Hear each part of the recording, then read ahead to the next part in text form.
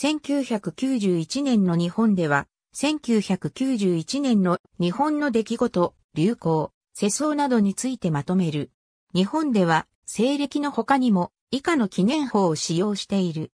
なお、以下の記念法は、西暦と月日が一致している。本年の新語、流行語大賞より、年間大賞が選定されている。じゃあ、リマセンカが、新語、流行語大賞の年間大賞を受賞した。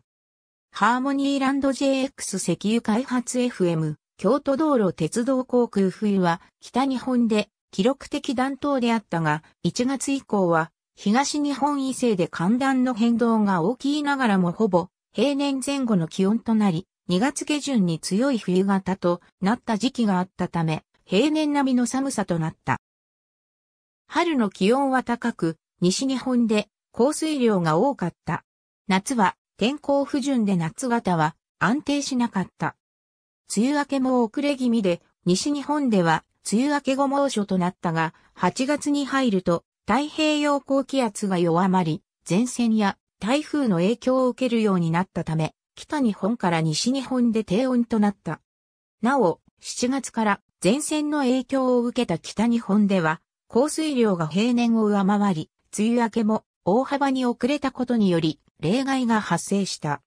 8月は低温、冷夏傾向であったが、6月が記録的な高温で推移したため、夏全体の気温は全国的に平年をやや上回った。秋は台風の接近、上陸が多く、台風15号が関東に接近したことを皮切りに17号、18号、19号が相次いで接近、または上陸し全国的な被害をもたらした。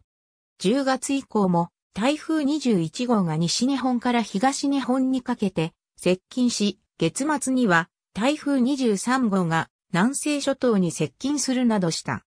9月から10月の気温は高めだったが、11月以降は気温は平年並みに落ち着き、秋の気温は東日本以北で高めであったが、西日本以南は平年並みだった。流行語ファッション文学、邦画洋画特撮コマーシャルコンピューターゲーム、家庭用ネオジオ野球サッカースモープロレスモーター、スポーツ競馬。ありがとうございます。